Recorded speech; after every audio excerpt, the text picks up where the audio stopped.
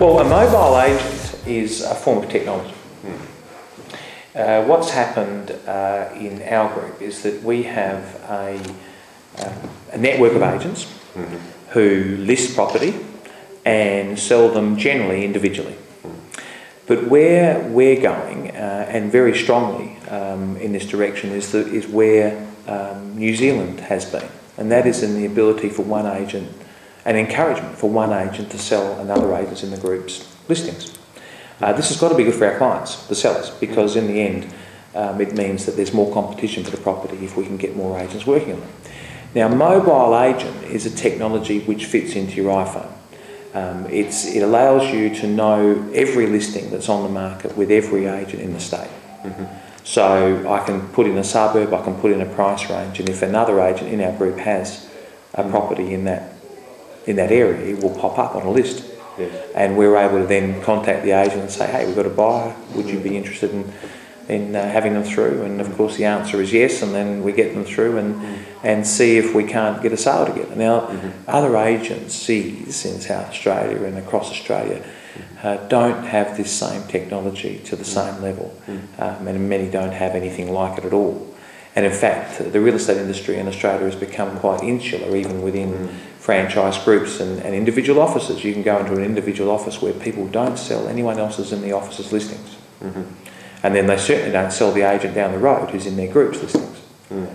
But mobile agent gives those in the Brock Harcourts group mm. and the Harcourts group across Australia mm. the opportunity to refer or introduce buyers to properties where otherwise um, they might not have known about it, particularly if they're not in the paper, but even so, you can miss them.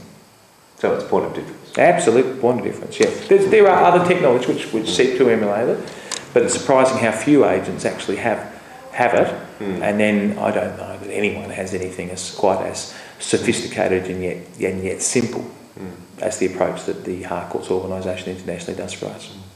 How long has the mobile agent been around? A few years, um, uh, but uh, with the advent of the iPhone, mm. more applicable because you know in, in past it's a phone based typically a phone based technology and of course phone faces were smaller yes and the ability to show property has grown because more and more people more and more real estate agents have mm. you know large faced phones so you can show the photographs as, as you can and browse the internet etc so um, it's been around um, and certainly it's been quite successful again in New Zealand because they've been more used to working with it mm.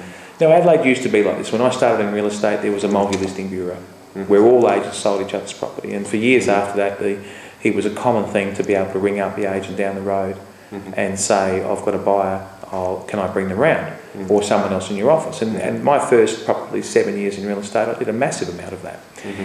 But the culture has changed. It's changed in, in, in certain areas of Adelaide. You, mm. um, to the best of my knowledge, uh, well, there is no multi listing bureau anymore which where, where agents can just see a book full of mm-hmm. of, uh, of properties that anyone can sell.